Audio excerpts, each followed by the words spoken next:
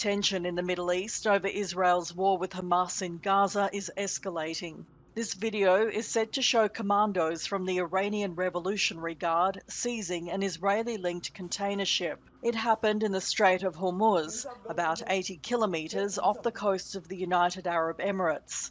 The MSC Aries is registered in Portugal. It's part of Israeli billionaire Eyal Ofer's Zodiac Group. Israel's military says it's ready to respond to any further Iranian aggression.